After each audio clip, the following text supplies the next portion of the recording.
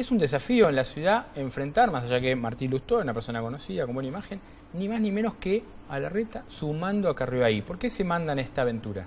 Es una gran oportunidad nuevamente para debatir cómo se rehace el sistema político de cara en la ciudad de Buenos Aires a proponer las mejores ideas y los mejores candidatos en esta oportunidad legislativa. Igual no se elige jefe de gobierno, con lo cual digo, no, va a ser más difícil poder discutir, no están discutiendo con quién gobierna, están discutiendo parlamento. Sí, con Martín conformamos una fuerza política que es frentista, ¿no? que busca eh, en las elecciones tener la oportunidad de utilizar las PASO, que es una gran herramienta que vino a superar la discusión de los partidos políticos y es la oportunidad del ciudadano para organizar las listas. Así que esperamos conformar el mejor frente electoral, como lo hicimos con ECO en, la elección pasada, para darle una oportunidad de alternancia a los porteños en relación al PRO, que es el partido que gobierna la Ciudad de Buenos Aires hace 10 años. no es raro el camino Lustó, porque lo que digo es, enfrentó a la reta en un balotaje que estuvieron cerca, pero con duras críticas hacia el PRO.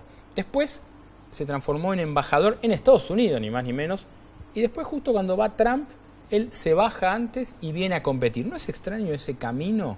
Las diferencias enriquecen el debate y la política, así que bienvenido en los momentos que hay debate, como en estos casos, el momento electoral, poner a disposición de los ciudadanos la mejor manera, eh, las mejores herramientas para resolver los problemas. En los momentos donde no hay elecciones, bienvenido también trabajar todos juntos para mejorar eh, la calidad de vida, en este caso de los porteños y en este caso de los argentinos, restablecer las relaciones con Estados Unidos todos compartíamos que era una prioridad muy importante y Martín asumió ese compromiso eh, con el presidente y creo que lo hizo de la mejor manera y lo compartimos, supongo que, que todos, ¿no? Porque la oportunidad de que el presidente de Estados Unidos visite la Argentina, la oportunidad de que el presidente argentino visite Estados Unidos, la primera potencia del mundo, restablecer las relaciones comerciales y la visa que nos permitan, digamos, acceder al ingreso a Estados Unidos de manera más veloz, como en los principales países del mundo, me parece que es una excelente oportunidad de haber cumplido esa parte del objetivo. y ahora volver a discutir los temas llamativo. Es muy poco tiempo, eso es lo que digo. es Ser embajador en Estados Unidos, vuelvo a decir, es algo importante.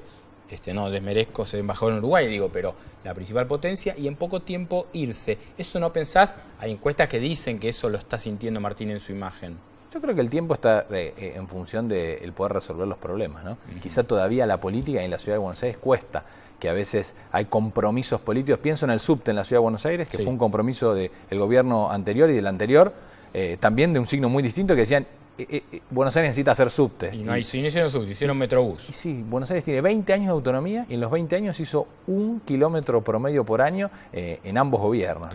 Por lo tanto, creemos que el desafío es poder encontrarle soluciones del siglo XXI a los problemas de algunos que vienen heredados del siglo XX, pero con soluciones modernas, porque si no siempre explicamos por qué no podemos hacer lo que hay que hacer. Pues si Lustó por ahí pone, Lustó, Martín Lustó, yo voy a poner subte en la ciudad, por ahí hasta con esa consigna sola consiguen un montón de votos, porque mucha gente está pidiendo eso. Y volver a parecernos a las ciudades a las que Buenos Aires se parecía hace 60, 70 años, ¿no? A veces cuando, cuando, en la publicidad logramos el carril exclusivo colectivo, que es una gran oportunidad, el Metrobús, eh, uno aspiracionalmente que se quiere parecer a Guayaquil. Nosotros creemos que Buenos Aires puede volver a parecerse a Madrid, que tiene 324 kilómetros de subte, ¿no? O a Nueva York, que resolvió en 20 años con una marca ciudad un subte que te daba miedo y un subte que hoy podés eh, utilizar. Son los desafíos modernos de una ciudad rica como Buenos Aires. ¿Y por qué pensás entonces que no les dieron, porque eh, eh, todos ustedes, vos no sos radical, pero el radicalismo lo plantea, estar adentro de Cambiemos? ¿Por qué pensás que no quieren que Lustó compita en, una paso de Cambiemos? Bueno, hubo dos momentos, ¿no? Hubo en el 2015,